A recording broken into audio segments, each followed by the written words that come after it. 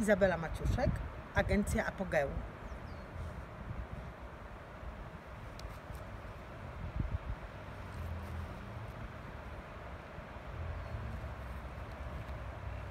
Uważam, że największym moim atutem jest to, że kocham siebie. Jestem pełna energii, mam dużo w sobie kreatywności, dużo takich pozytywnych myśli i nie ma dla mnie nic niemożliwego.